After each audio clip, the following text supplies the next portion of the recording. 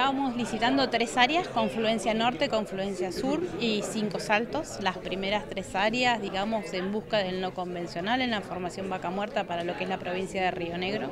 Se presentaron dos, este, dos empresas con cuatro ofertas por confluencia norte y por confluencia sur.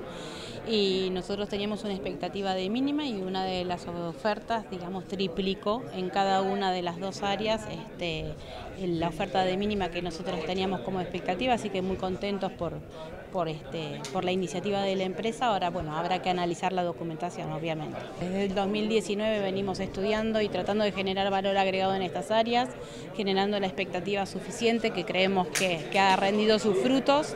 Y bueno, la idea es que a partir de estas tres áreas poder, digamos, eh, incentivar a las otras empresas que están al sur o al norte de las confluencias para también desarrollar el no convencional que también tenemos certeza de que existe en esas áreas. Hoy el petróleo vale y vale mucho y bueno, eh, la idea y lo que uno está viendo es que las empresas de verdad apuestan este, a lo que es el petróleo rionegrino. Con esta licitación el no convencional, digamos, es una manera distinta de explotación, es una dedican, digamos, inversiones de manera intensiva, mucho más cuantosas que el, que el convencional, y es toda una lógica y un paradigma nuevo para la provincia de Río Negro.